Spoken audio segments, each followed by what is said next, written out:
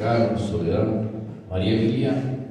Recién hablábamos fuera del micrófono de lo importante que es la formación y la educación.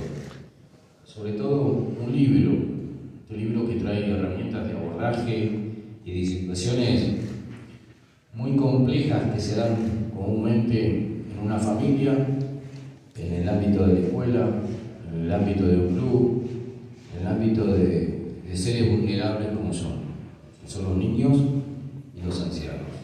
Entonces, eh, agradezco la, iniciativa, Ramón, de vos, de tu equipo, de haber traído esta, esta, propuesta hacia Plaza Winwood como, como herramienta que decíamos recién eh, de abordaje ante distintas situaciones. Esto nos lleva y nos acerca más a la realidad, más a, a estos seres que, son tan vulnerables y sobre todas las cosas, cómo saber eh, llegar y darles eh, esta escucha muchas veces que, que, es tan compleja y los adultos no tenemos esta herramienta. Entonces, eh, celebro muchísimo que, se pueda trabajar en forma conjunta.